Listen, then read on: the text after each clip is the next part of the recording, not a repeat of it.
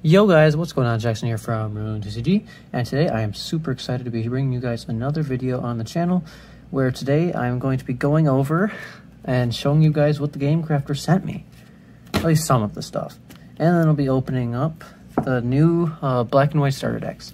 But before I get into it, if you want to help support me in any way possible, more than just subscribing and liking the video, you could buy these packs down below in the description. It's the Game Crafter link.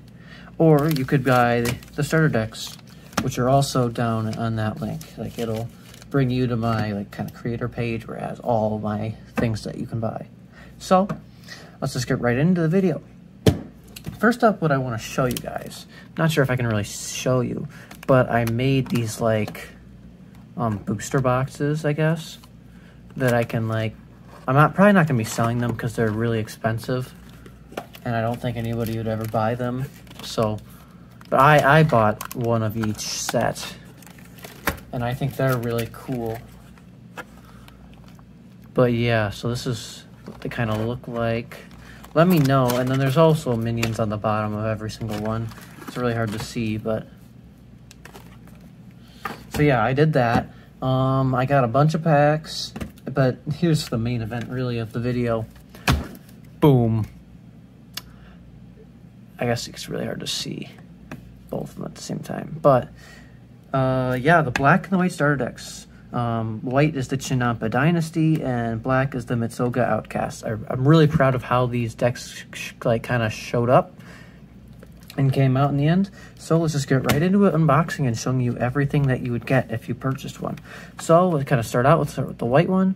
It has the boss meeting at the start, at the front, like a kind of weaker minion on the back. And it says, in this box, uh, 30 main cards and 15 rune cards. Claim your rightful place as ruler of the lands of Chinampa.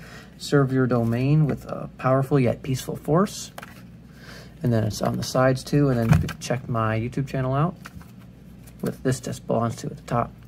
Just like all my other starter decks. So yeah, they're pretty cool. I'm just going to open this just to kind of give you guys an in-depth view of what you would get if you got a starter deck. So if you were going to buy a starter deck, um, I kind of recommend them. I think they're probably the best value because you get an actual playable deck. And you can kind of learn how to play Rune G with them. So yeah, they're really cool. And if you're going to buy one for you and one for a friend, I would recommend probably these two. Or the other ones are fine. Like they're all they're all balanced basically to each other. But I think that I well I balance white and black to be perfect against each other. Like it's a 50-50 matchup basically. But and so it's a it's the same thing with the green, blue, and red, but you if you get like I don't really know how they match up against like a black versus the red sort deck. I don't really know that. I haven't really done that. So let's just open it up. Um yeah, I'm gonna pause the video real quick and I'm gonna go sort it. Okay, we're back. So now I'm, uh, I, I, so I sorted them all out. So first up, you get 15 white runes with the deck, and they're the set two variant, not the set one or three. So I think that's pretty cool. It's the same thing for the black, but I, you'll, I'll show you, I'll show you that in a few minutes. So yeah, you get 15 white runes with the deck. Now let's just get right into the cards that you get.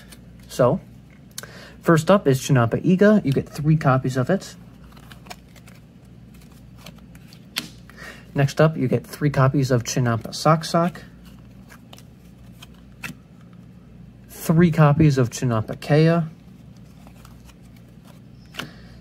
two copies of Chinampa Pakwa, which is the boss minion, three copies of Chinampa Royal Scepter, three copies of Chinampa Power Lily, Yeah, two copies of Greedy Dice. Really good card. Two copies of Geld Looking Glass. Three copies of Appendes. It's a really good card. Another draw. Oriented card. And then an attacker for the deck. Vabiet Schlab. Two copies of him. Got one copy of Reincarnation. Very strong staple. And then three copies of Into the Shadows that concludes that deck. So if you remember, white kind of, or this white deck wants to draw as many cards as possible and then gain points without attacking with their abilities and stuff.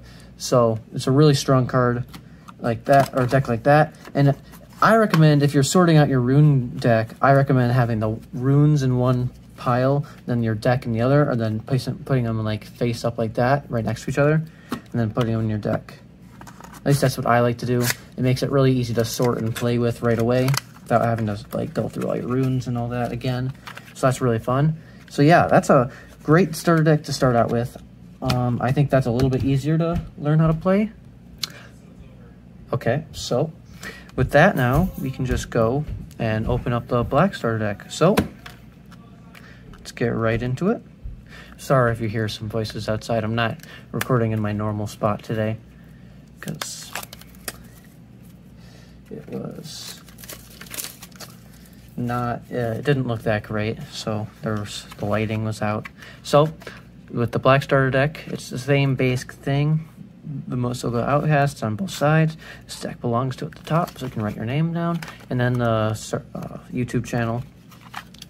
Now the there's a little bit different flavor text so retake the mysterious lands of the Mitsoga Plain with this with the outcasts with their quick combos and strong attacks, no minion is truly gone. Really cool flavor text, I think. I, I don't really like doing all that much, like, kind of lore and stuff. I've never been into it.